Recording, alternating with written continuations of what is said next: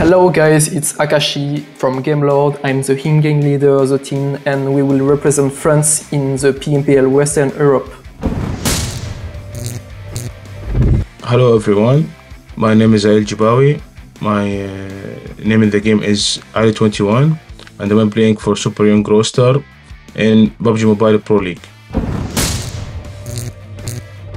Hello, my name is Octavian and I'm currently playing for Eastern Stars.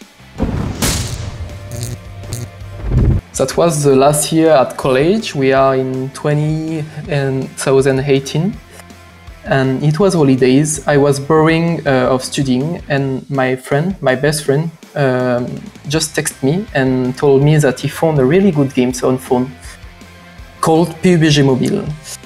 So I didn't know about this game before and uh, we decide to install it and we start our first game. I started the game about three years ago. It was by my friend in the school. He named Abdurrahman.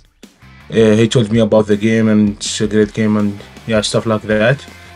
After that, I downloaded the game and started playing it since season 3. After a long time, I think in season 10 or something, or yeah, season 10 or, or, or 11, uh, one of my friends in the game learned me more about the esports and there is uh, scrims that we can play and, and official tournaments like PMCO.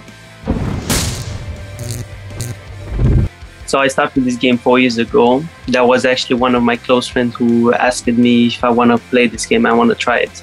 So I tried it. I played uh, some classics and then I enjoyed it. I started to put more time in it and then uh, I started competitive. And uh, that's how why I'm here.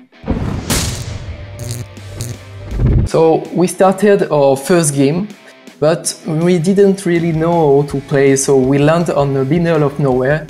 And after a long time, we found a big box with a red smoke, and we got uh, our first weapons. But unfortunately, we didn't expect about the blue zone, and we got killed uh, by it in top 6.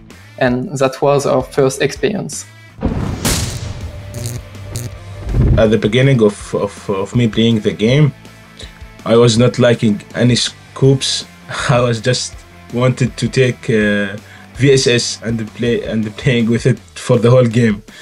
I dropped all the scopes and I just to play with VSS because it's have scope already. So I started this game with my friend, and then we played the duo squad, and then after that we realized that we need two more players.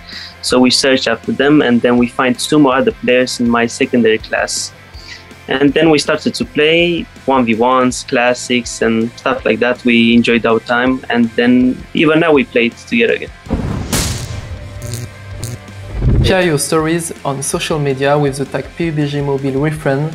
The best story will be included in the video and valuable prizes will be drawn among the participants.